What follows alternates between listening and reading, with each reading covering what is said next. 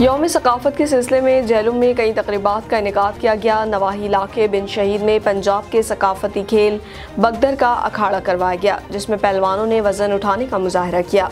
सुहावा में बैलों का अखाड़ा मुनद किया गया, जबकि डोमेली में ऊँटों ने वज़न उठाया। सकाफत के सिलसिले में जहलुम में कई तकरीबा का इनका किया गया। नवाही इलाके बिन शहीद में पंजाब के सकाफती खेल बगदर का अखाड़ा करवाया गया, जिसमें पहलवानों ने वज़न उठाने का मुजाहरा किया। सुहावा में बैलों का अखाड़ा मुनद किया गया, जबकि डोमेली में ऊँटों ने वज़न उठाया। पूरे पंजाब की तरह झेलुम में भी सकाफत को उजागर करने के लिए झेलुम के मुख्तलिफ़ इलाकों में प्रोग्राम मुनद किए गए।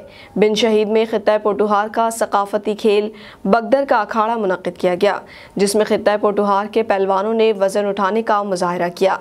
इस सकाफती खेल की ख़ास बात यह है कि इसको देखने के लिए बच्चे, बूढ़े और नौजवान बहुत बड़ी तादाद में ग्राउंड में मौजूद थे। इसके साथ साथ सुहावा में बैलों का अखाड़ा मुनद किया गया, जबकि डोमेली में ऊँटों के मुकाबले भी करवाए गए